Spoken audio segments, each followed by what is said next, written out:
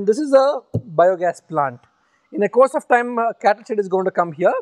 So, this is going to be used to digest the uh, waste generated in this property as well as some amount of cow dung.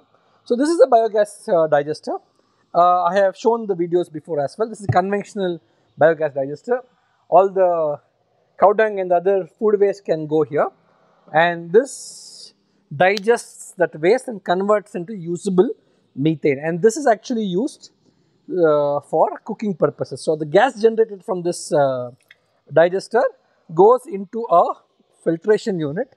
As I explained before, there are some amount of impurities in our uh, gas. So, we have got water which can uh, can dissolve some amount of carbon dioxide. We have got a desiccant, it's activated carbon, it's nothing but activated charcoal and we have a steel mesh. So, the, the gas generated passes through all these filtration unit and gets into the kitchen there.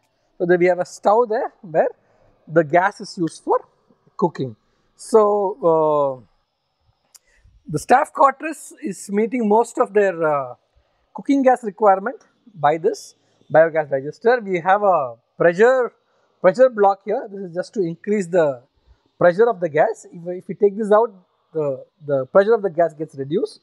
If it, it's just, just, a, just a counterweight to actually increase the weight so that the gas is under pressure. So, this is about uh, a, a, few things in uh, done here. We have got solar, we have got biogas, we have some uh, the recharge wells and uh, rainwater harvesting system.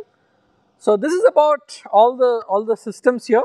So, sustainability as I told uh, earlier as well is about three major components energy, water, nutrition and uh, waste management.